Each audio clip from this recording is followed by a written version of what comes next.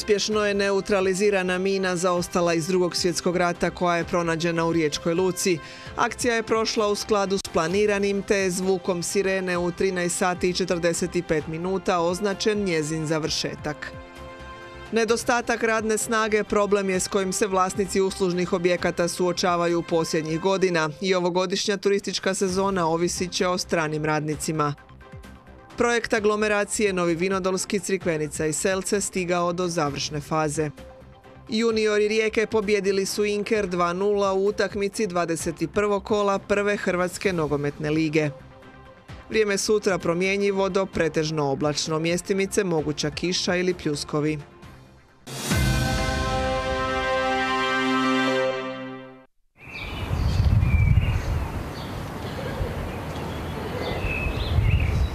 Eksplozijom mine teške gotovo jednu tonu, odnosno njenom neutralizacijom, završila je jedna od najvećih akcija u Rijeci.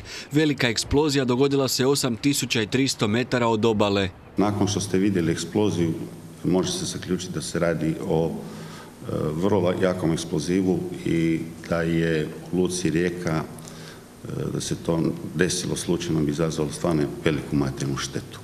Specifičnost ove mine, odnosno ove situacije, to što se ona nalazila točno u luci Rijeka, e, znači nedaleko od svih objekata. Akcija izmještanja mine krenula je u 6 sati i 9 minuta, a najveći, odnosno najopasniji dio posla izvršili su policijski ronioci. Znači, tehnike podizanja takvog tereta je izuzetno opasan, to je i na neki način ključan trenutak tako i samo dovođenje do, dovođenje do mjesta uništenja, neutralizacije takvog e, sredstva. Mina je podignuta balonima na dubinu od 7 metara i tako je tegljena brzinom od 2 milje na sat. Njemačka mina bila je duga 3 metra, a koliko je to bio zahtjevan posao najbolje govore njene specifikacije. To je e, protubrodska mina, e, kao što sam rekao ima 690 kila, 690 kila heksonita ekvivalent 1200 kila TNT-a, e, za e, uništavanje i, kako bi rekao, mina koja radi veliku štetu u takvim objektima. Cijela akcija završila je u 13 sati i 44 minute, a taj trenutak označile su sirene.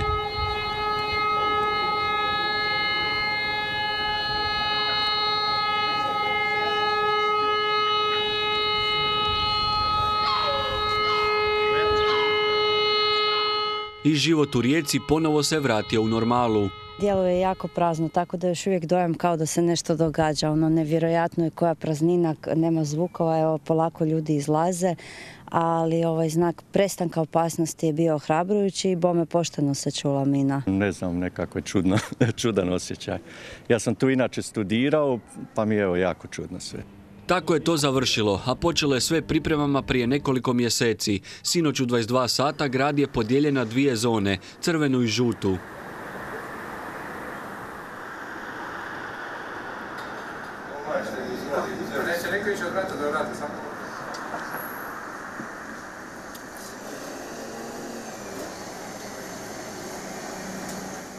Njemačka mina ispraznila je vezove, riva je ostala bez automobila, a zgrade bez stanara.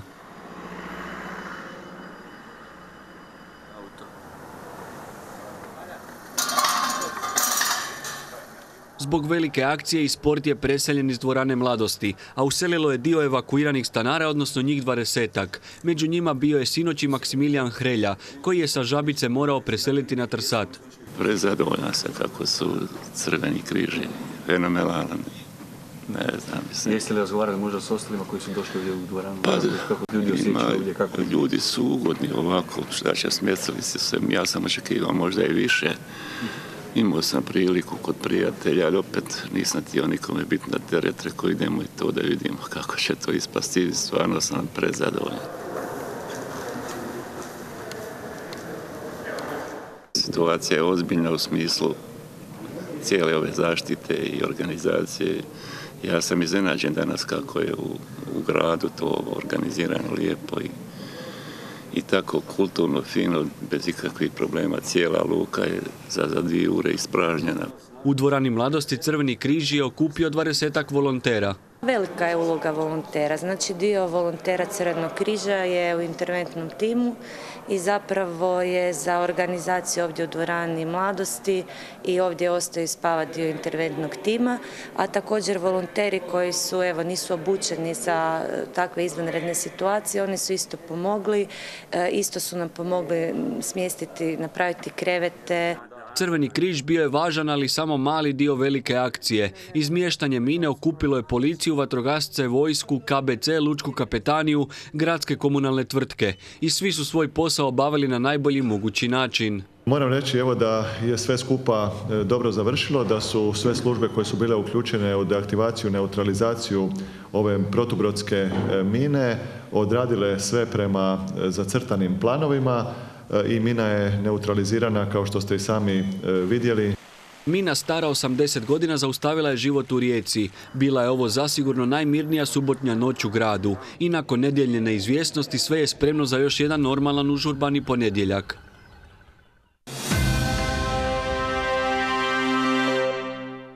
Nedostatak radne snage problem je s kojim se vlasnici uslužnih objekata u Hrvatskoj suočavaju posljednjih godina i ovogodišnja turistička sezona ovisit će tako o stranim radnicima.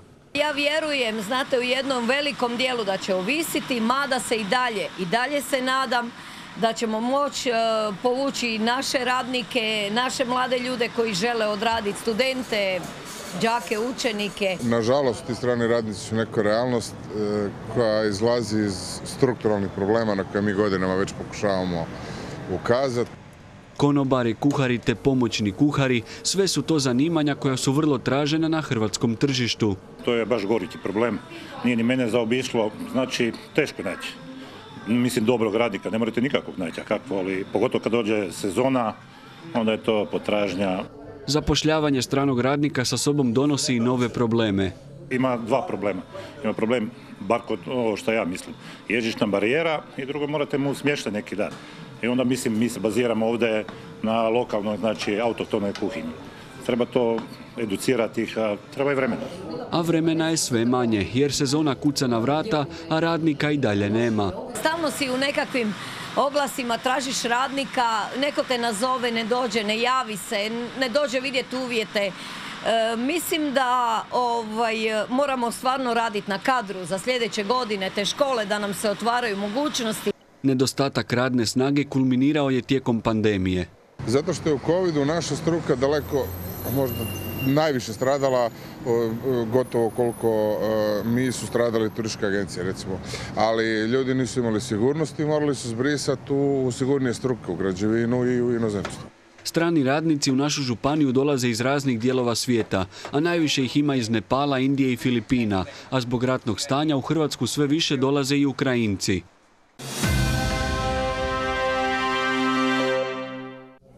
Projekt Sustav odvodnje otpadnih voda aglomeracije Novi Vinodolski, Crikvenica i Selce stigao je do završne faze, odnosno cijeli projekt trebao bi biti gotov do kraja ove godine. Sad nam je na intenzivni su radovi e, do turističke sezone, onda slijedi i stanka, nastavak je u jesen i prema kraju godine moramo doći kraju tom najvećem ugovoru.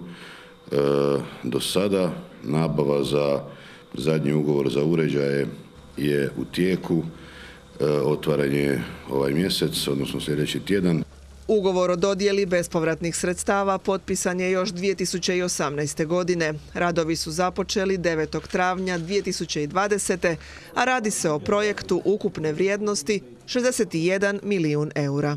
Permanentno se vrše asfaltiranja, a nekakav cilj nam je izvući se iz obalnih linija i onih najudarnijih pozicija jer već je uskrs je pred nama i pomalo živost se pokreće.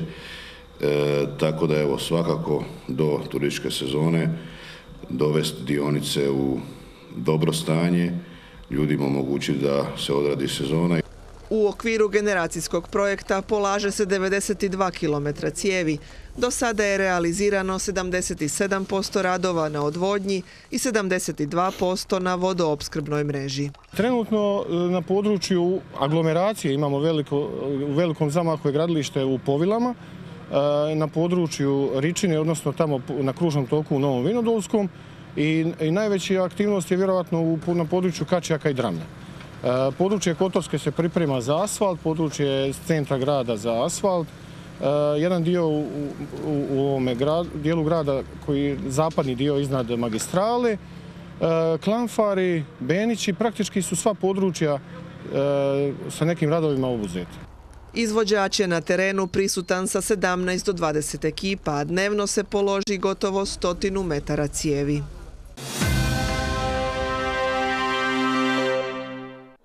Humanitarna glazbeno-poetska večer održana je sinoć u Bočarskom domu Slavko Stanić u Kastvu. Razlog je prikupljanje donacija za pomoć potresom pogođenom području u Turskoj. Ideja, znate kako, Vijeće Bošnjačke nacionalne manjine inače dosta, dosta ovaj, radimo humanitarno, odazivali smo se i kad je bilo na Bani i u Zagrebu i tako, a najviše smo potaknuti time što je Turska, Republika Turska prva pritekla u pomoć na Bani i poslala kontejnere, pa mislim da red da se vrati nešto. Na humanitarnu su se večer odazvali brojni glazbenici.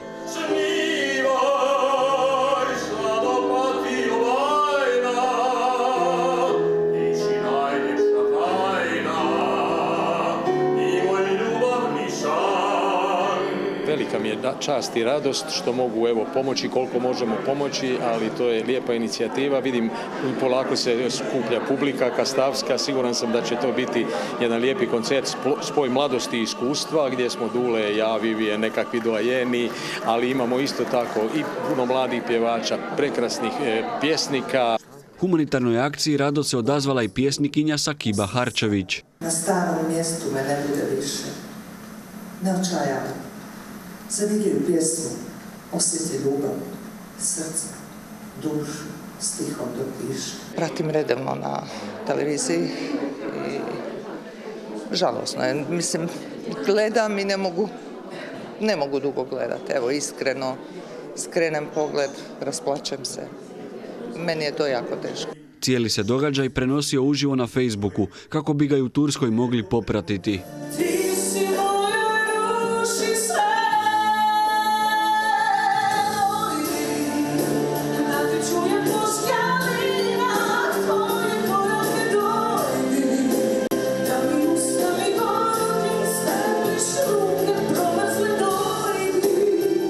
Posjetitelji su novčana sredstva donirali na licu mjesta, a svi koji žele pomoći mogu i uplatom na račun kojeg je Veleposlanstvo Republike Turske otvorilo za stradale u potresu.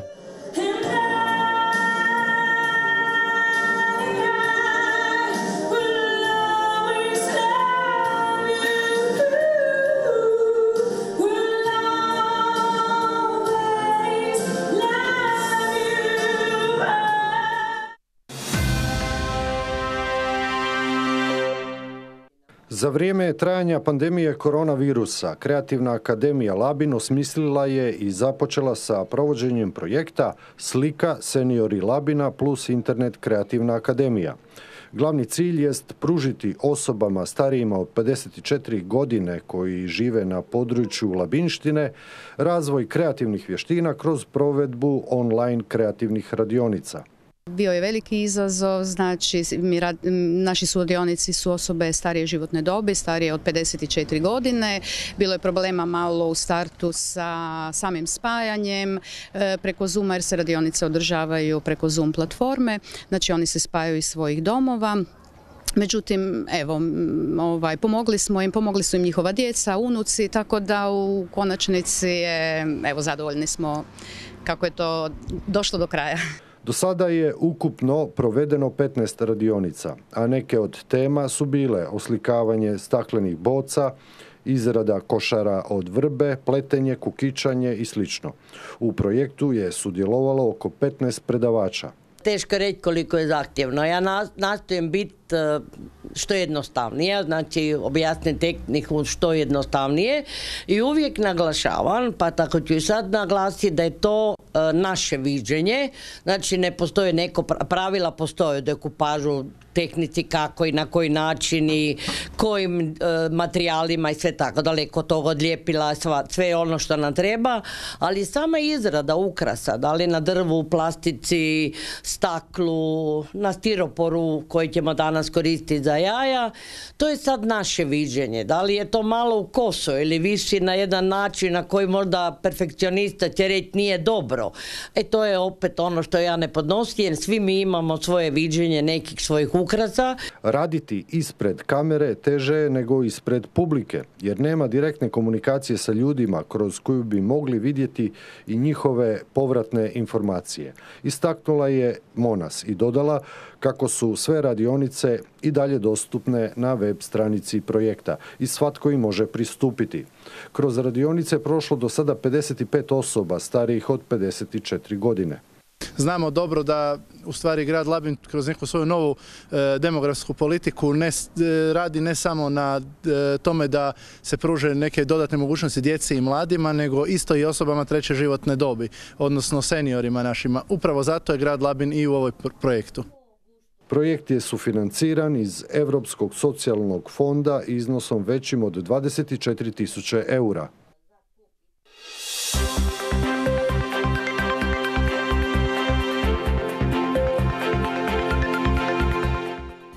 Rijeka je pobjedila Zaprešički Inker 2-0 u utakmici 21. kola prve juniorske HNL odigranoj na igralištu Roberta Komena na Podmorvicama. Riječki nogometaši upisali su tako drugu uzastopno prvenstvenu pobjedu, 15. ove sezone, i ostali u trci za naslov prvaka Hrvatske. Rijeka je dobro ušla u utakmicu, a prvu veliku prigodu imala je u 20. minuti. Noel Bodetić je odlično ubacio, a Danila Forov ostao sam na 6 metara, ali njegov udarac išao je ravno u vratara Inkera, Mokrovića Dajića. Bili su poveri u 26. minuti. Din Begović je ubacio s desne strane, a veznjak Andro Babić s pretnim udarcem glavom i visokom svijećom pogodio suprotni kut gostujućeg gola. 1-0 za rijeku. U 34. Forov je ubacio u srce kaznenog prostora, Roko Valenčić se našao u odličnoj prigodi na desetak metara od protivničkog gola, ali udarac je otišao pored vratiju. Rijeka je drugi dio utakmice otvorila udarcem Babića u 47. minuti, te pokušajem Noela Bodetića četiri minute kasnije, no njegov udarac otišao je preko grede. Dvije minute kasnije u sjajnoj prigodi Jakov Bilajac, ali malo previše okljevanja i ništa od povećanja riječke prednosti. U 63. minuti pokušaj Bodetića bio opasan, završio je na vratnici, a bijeli su pobjedu potvrdili i osigurali u 86. minuti. Duje Korač u igru još od 10 minuta ranije, a u 86. se sjurio u kazneni prostor, pa sigurnim udarcem s desetak metara zatresao gostujuću mrežu za konačni rezultat na Podmurvicama. Rijeka Inker 2-0. Pa dobro, najzadovoljniji pobjedom. Međutim, mislim da smo odigrali jednu jako zanimljivu utakmicu s aspekta što smo probali nešto novo, odnosno bili smo prisiljeni uh, isprobati nešto novo zbog određenih izostanaka i što zbog ozljeda, što zbog kartona i mogu reći da sam jako zadovoljan. Bili smo strpljivi, e, dominantni veći dio utakmice, stvorili smo dovoljno prilika, e, realizirali dvije, tako da mislim da je naša pobjeda apsolutno zaslužena i na nju nemam primjedbe osim pohvaliti moje dečke, bili su stvarno dobri danas. Kad imaš dobar pristup i dobar stav i gard, onda te malo nagradi ovaj, i sreća. Promašili smo neke situacije gdje smo možda trebali utakmicu uvesti u mirne vode i ranije, ali ja mislim da smo bili jako dobri, e, kvalitetni, zanimljivi, pogotovo naposao ovi mlađi igrači koji su danas neki debitirali. E, jako sam zadovoljan. Promovirali smo i mladost, a s druge strane ostvarili smo i zasluženu pobjedu. Trener gostiju naravno nezadovoljan rezultatom, ali ne i toliko nezadovoljan igrom svoje mlade momčadi. Izgubili smo utakmicu ovoga još jednu nizu, ali imali smo danas ovoga dosta jasan plan kako se probati oduprijeti ovoga rijeci uz visoku razinu trke, borbe, agresije. E, pokušavali smo to odraditi i mogu reći da sam ovoga dosta zadovoljan sa svojim dečkima. Bilo je to jako dobro i a, normalno, izgubilo se, ali znamo svi ovoga kakva je momčad ovogodišnja juniorska NK Rijeke i uz malo više sreće ovoga možda smo mogli nešto, nešto više bar do pogodka doći. Ovaj drugi gol je recimo primljen zadnjih desetak minuta kad smo ovoga malo više krenuli prema naprijed. Prvi gol je jako nesretno primljen, ovoga, do toga smo ovoga gola dobro funkcionirali. U 22. kolu Rijeka gostuje na Šubićevcu, a Inker u svom Zaprešiću igra protiv Koprivničkog Slaven Belupa.